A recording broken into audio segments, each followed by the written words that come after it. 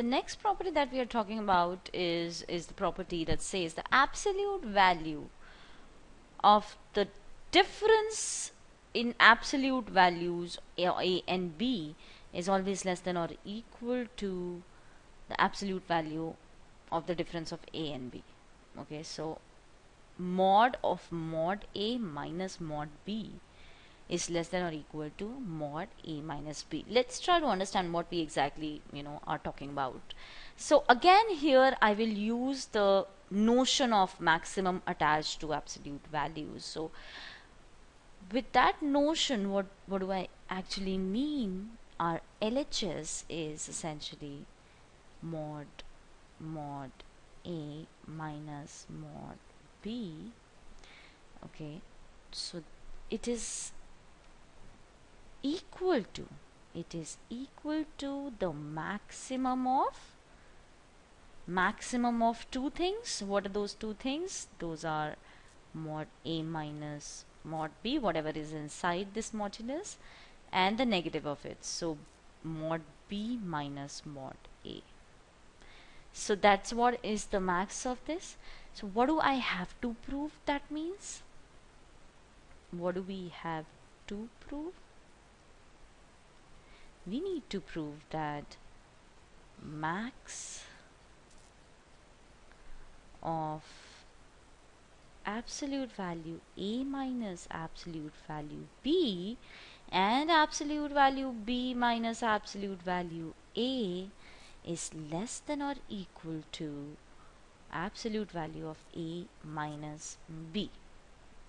Now so that means that it will be sufficient for me to prove so sufficient sufficient to prove what would be sufficient to prove? If I could prove that each element in this max is less than or equal to a, uh, a minus b absolute value then I am done. So sufficient to prove that absolute value a minus b is less than or equal to a minus b and absolute value b minus absolute value a is less than or equal to a minus b. So that's what we have to prove now. How to go about it? How to go about it? So let me call this 1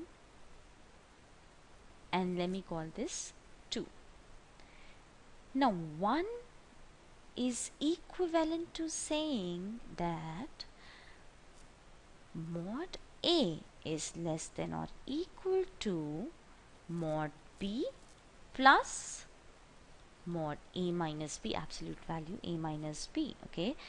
So I I've just taken B to the RHS right? So this is same as this is same as saying that absolute value inside this absolute value what I can do is I can add and subtract b. I can just add and subtract b and this will be less than or equal to plus absolute value b plus absolute value a minus b and which is true which is true by which is true by triangular inequality. Triangle inequality. Now what in in that sense what we have done we have taken a minus 1 as one real number and b as another real number and just applied the triangle inequality and this will hold. Now in the second case in the second case in the second case also the same sort of thing would happen. In the second case also the same thing would happen. And and and what we can do is we can keep mod b out here and see what happens to the RHS okay so what we'll do we'll just take a this side this time. And again add and subtract. Add and subtract a. And due to triangle inequality this thing will still hold